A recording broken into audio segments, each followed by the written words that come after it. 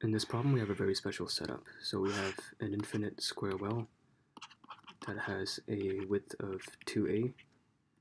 So you have something like this for the potential. And then we're given that the initial wave function is going to be equal to the stationary state for the infinite square well with a width of a.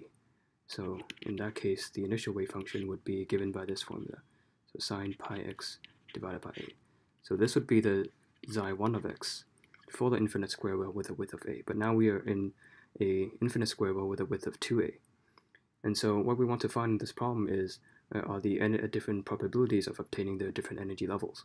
So what that means is that if you consider the expression for the general form of the wave function, you would get something like this. So we have some constants cn multiplied by psi n of x times e to the power of negative i e n t divided by h bar so this Cn here is going to give us the different probabilities of obtaining the different energy levels.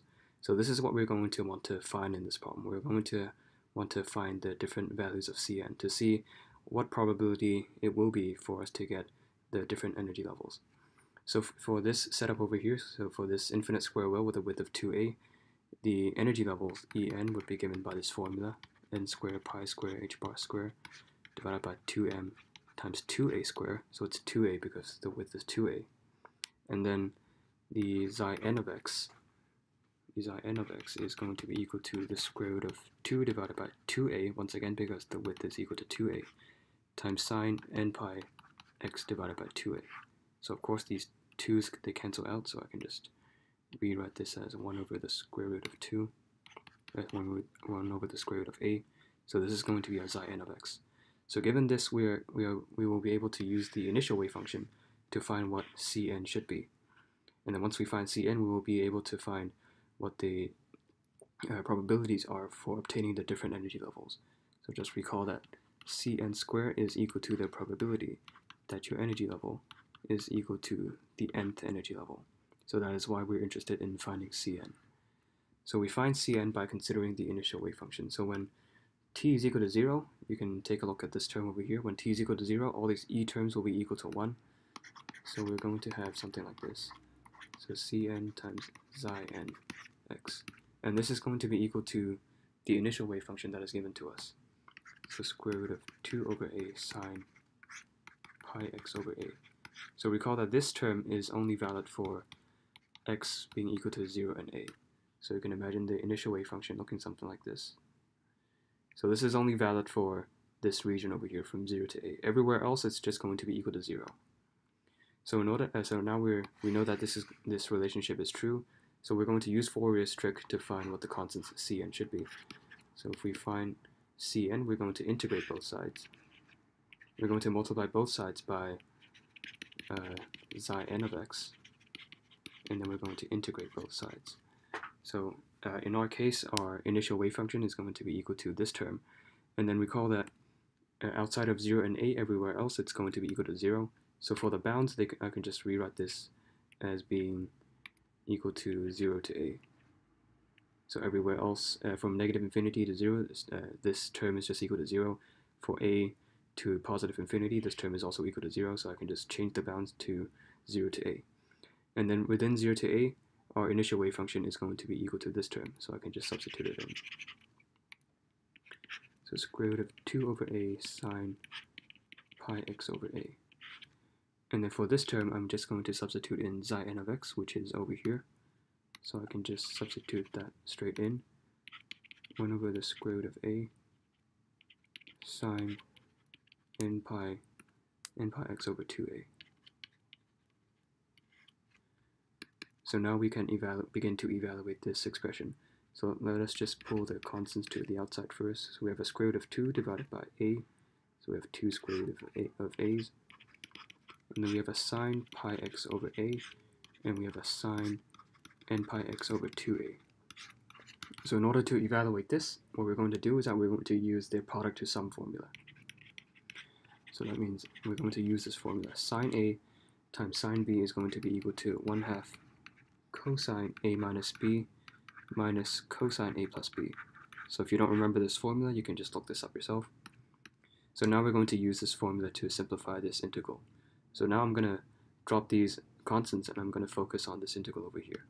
So the integral is going to be equal to, so first we have a 1 half on the outside, and then we have cosine a minus b, so cosine this term minus this term.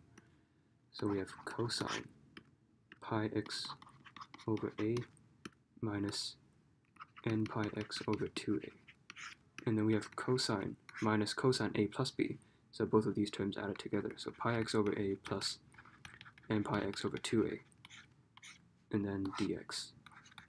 And then of course I can just uh, simplify this uh, slightly by grouping up like terms. I can just pull out this pi over a, and then I'll have a 1 minus n over 2 times x. I could do the same for this term. I'm going to pull out a pi over a, and then we have a 1 plus n over 2x. So this slight rearrangement makes this uh, term in, inside the bracket looks uh, look nicer. And in such a case, you see that we actually obtain two cosine terms, which should be relatively easy to integrate. So I'm just going to change this to n over 2 minus 1 instead, because I like to have the n with the positive coefficient. So inside the cosine term, it doesn't matter what sign you have, so I can always freely add a positive or minus sign in the front, and it won't affect the value. And so this is the first term, and for the second term we have cosine pi over a a n over 2 plus 1 x dx. So both of these terms should be relatively easy uh, to integrate. So integrating this, we have sine pi over a a n over 2 minus 1 x and then we divide this by the constants. Pi over a n over 2 minus 1. And this is evaluated from 0 to a. And then now we can integrate this as well. We do the same thing. So pi over a n over 2 plus 1 x divided by pi over a n over 2 plus 1. And this is evaluated from 0 to a. So now we can proceed with evaluating this expression. So when we substitute in 0, first of all, notice that when we substitute in 0, we get sine 0, and then we also get sine 0 over here. So both of these terms will be equal to 0, so we can pretty much just ignore the terms where we substitute in 0. And then when we substitute in a, uh, uh, it will be slightly more interesting, so we will substitute in a. And first of all, let's just pull some of these constants out. We have this pi over a, so I can just pull that out. So it becomes a over pi over here. And then for this term, I'm just going to flip it so it becomes 2 divided by n minus 2. And then we're going to have the sine term, and then we're going to substitute in a, so we see that it cancels out with the term in the denominator. So we have n over 2 minus 1 times pi. And then we're going to do the same over here. So we've pulled these constants out. I'm going to flip this term. It becomes 2 divided by n plus 2. So 2 divided by n plus 2, and then I'm going to substitute in a. Once again, it cancels out with the denominator. So we get sine n over 2 plus 1 times pi. And so there we have it. So now all we have to do is just to simplify this a bit further. So these 2's, they cancel out. So a over pi. And then I can actually pull these two sine terms out because actually both of these are actually equal. You can see that if, uh, notice this term inside the bracket, if I add 2 pi to it, it's going to turn into this term. And then sine functions are periodic. It repeats itself after every interval uh, after every interval of 2 pi. So if I add 2 pi, it's not going to change the value of this term over here. And if I add 2 pi, it's going to equal, be equal to this term. So that means both of these terms are actually equal. So I can actually just pull sine n over 2 plus 1 pi, or you can pull minus 1, doesn't matter, both of them have the same value. So I can just pull this term out. And inside the bracket, what remains will be 1 over n minus 2 minus 1 over n plus 2. And adding this is e easy enough. We just uh, we can just easily add this up. We have n minus 2, n plus 2, and then we have n plus 2 minus n minus 2.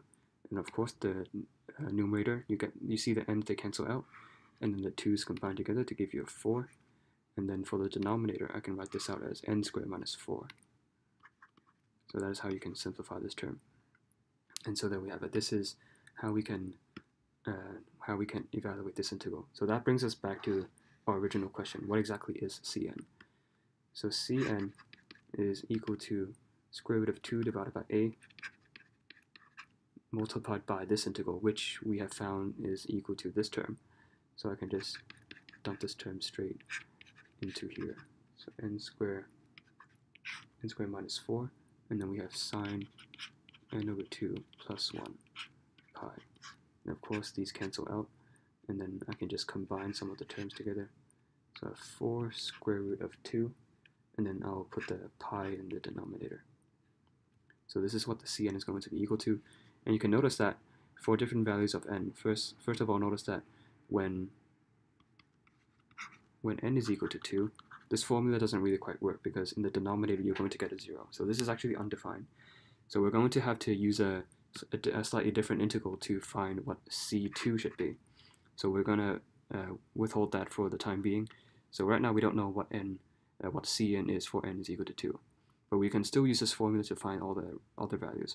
So for all the other even numbers, like 4, 6, 8, and so on, you can see that if you substitute this in, you get, let's say if you substitute in 4, you get 4 over 2, which is 2, you get sine 3 pi, which is equal to 0. And you can do the same for all the other even numbers. You can see that you get the sine of some integer times pi, which is always equal to 0. So that means Cn for all n equal to 4, 6, 8, and so on. So for all even numbers except for 2, you're going to get 0. And then when n is equal to an odd number, so 1, 3, 5, and so on, you can see that if you put in uh, 1 over here, you get sine 3 over 2 pi, which in that case is equal to negative 1. You substitute in 3, you get 3 over 2 plus 1, so 5 over 2 pi. In that case, that's equal to 1. So you can see that it's going to be equal to a negative 1, 1, negative 1, and then it's going to keep repeating itself for cases when n is equal to an odd number. So it doesn't really matter if I have a negative or positive sign, because in the end, when we're looking for the probabilities, we're going to be squaring the term anyway. So I'm just going to represent this kind of behavior with a plus and minus sign. And then uh, this plus and minus sign is going to be applied to this term. So 4 times the square root of 2 divided by pi n squared minus 4.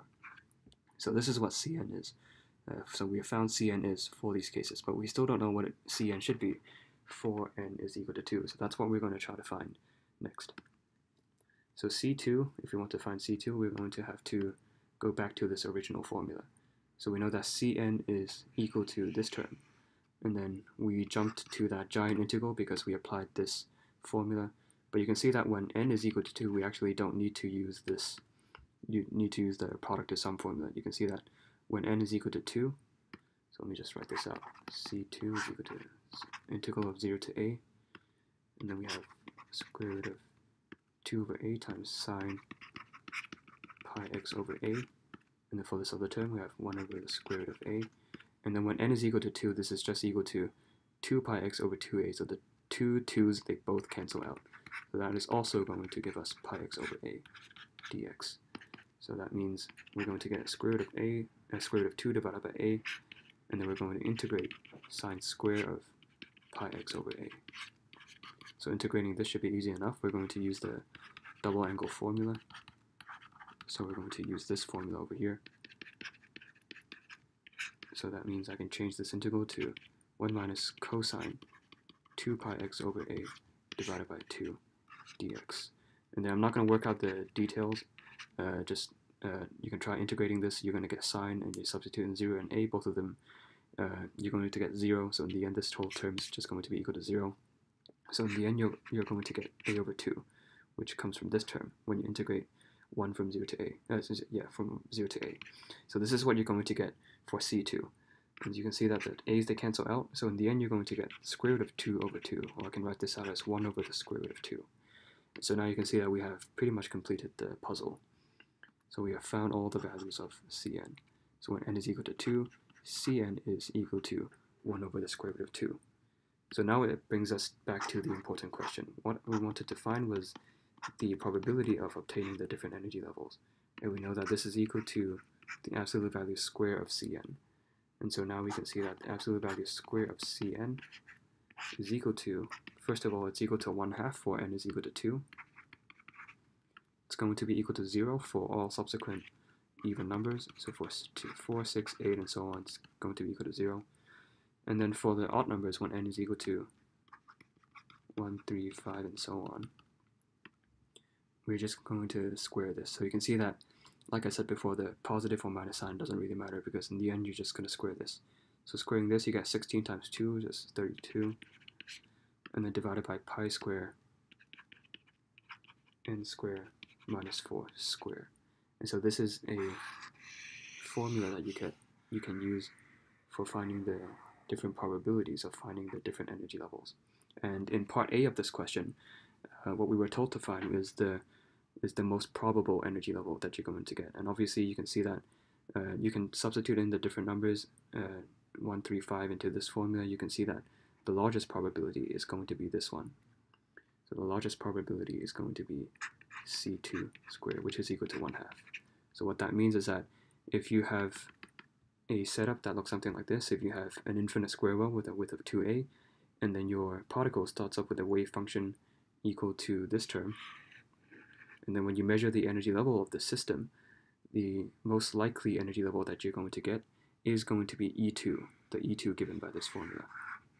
And you can see that since our En is given by this formula, n squared pi squared h bar squared divided by 2m 2a squared, our E2 is just going to be equal to substituting 4, uh, 2 over here, so we get 4 pi squared h bar squared divided by 2m, and this is going to be 4a squared, so we can see these conveniently cancel out, and so you can see that this is going to be the energy level that you're most likely going to get.